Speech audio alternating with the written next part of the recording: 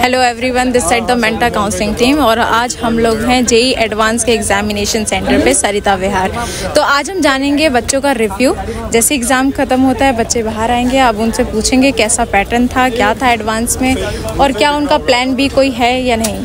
तो आप देख सकते हैं पीछे की साइड राजकुमार गुप्ता कैसा रहा आपका एग्ज़ाम अच्छा गया मैम। कैसा पैटर्न था? सेम पैटर्न था पिछले साल के जैसा पेपर वाइज जैसा। क्या लग रहा है? कोई होप हाँ अच्छा गया था हो जाएगा फिर। प्लान भी लेके चल रहे हैं कि नहीं? हाँ पेपर टू पेपर टू में जैसा हो फिर। ठीक है ऑल द बेस्ट नाम क्या आपका? सपना। सपना आपका एग्ज़ाम कैसा हुआ?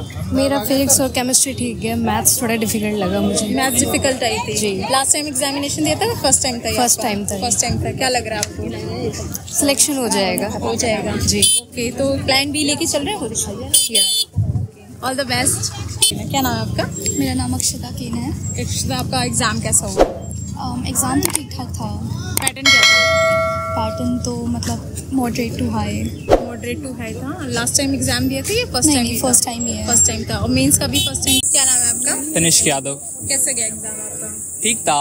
ओवरऑल थोड़ा मॉडरेट टू हार्ड था पर केमिस्ट्री काफ़ी इजी थी और फिजिक्स मॉडरेट थी पर मैथ्स काफ़ी हार्ड थी।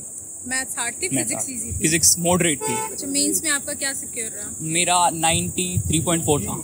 ओके अभी होप क्या लग रही है? अब देखते हैं। Hope so cut off clear हो जाए मैथ्स में। बस और तो कुछ नहीं है से बिलोंग कर रहे हैं? ओबीसी ओबीसी कैटेगरी दिल्ली से ही है। नहीं मैम हरियाणा से हूँ रेवाड़ी हरियाणा से रेवाड़ी से। Okay all the best thank you ma'am आपका? भूमिका।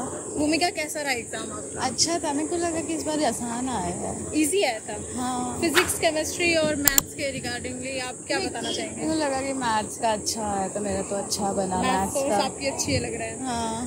ओके माँ की सब कितना मतलब अच्छा बन रहा था। मुझे तो लगा कि जैसे बाईस में मुश्किल था तो उस हिसाब से साल तो आसान था। तो राइट नाउ मतलब अपियरिंग से आप पहले फ़र्स्ट टाइम अटेम्प्ट कर नहीं रहे नहीं हैं? मेरा ड्रॉप ही ड्रॉप ईयर था। जे में क्या रहा आपका? मैं 98.4 था। 98.4 okay all the best thank you क्या नाम है आपका? शिवम। शिवम कैसा एग्ज़ाम गया आपका? एग्ज़ाम ठीक था मतलब नॉर्मल था। पिछली बार के जो पेपर्स देखे थे मैंने एडवांस के उससे थोड़ा आसान था। Physics chemistry math as always tough थी। ऐसे ही था और केमिस्ट्री में कोऑर्डिनेशन और केमिकल बॉन्डिंग से ज़्यादा था। ओके फिज़िक्स में आसान क्वेश्चन भी थे जैसे डायमेंशनल एनालिसिस पे था एक क्वेश्चन आसान था वो हो गया। और मैग्नेटिज्म से थे वो भी हो गए आसान थे लेकिन मैथ्स थोड़ी मिक्स कॉन्सेप्ट आए थे। मिक्स कॉन्सेप्ट आए थे। फिजिक्स और मैथ्स के बीच में अगर कंपेयर किया जाए तो कौन सा आप ज़्यादा वो बोलेंगे कि हाँ ये थोड़ा टफ में आया था?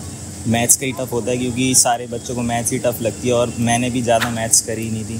फिज़िक्स केमिस्ट्री पे ज़्यादा ध्यान था तो फिज़िक्स आसान लगी उससे। न्यूमेरिकल बेस पूरा आया था हाँ मैचिंग भी आई थी और इंटीजर टाइप भी आए थे और वो भी आए थे मल्टीपल सेलेक्ट क्वेश्चन और एमसीक्यू भी आए थे। ओके मिक्स था मतलब हाँ पैटर्न हाँ। तो जे मेंस में आपका कह रहा था? जेई मेंस में थोड़े कम रह गए थे मेरे 88 परसेंट आए थे। तो अभी होप क्या लग रही है कि एडवांस में लाइक अभी जो एग्ज़ाम दे के आए हैं उसका होप है आपके पास या प्लान भी अभी लेके चल रहे हैं कोई? नहीं अभी तो मैंने सोच लिया है कि लाइक करनी है इंजीनियरिंग अभी अगर एडवांस हो जाता तो अच्छी बात है वरना स्टेट गवर्नमेंट कॉलेज जैसे डी वो मिल रहा है मेरे को अ, कोटा से और दिल्ली स्टूडेंट इस वजह से मिल रहा है। हाँ। हाँ।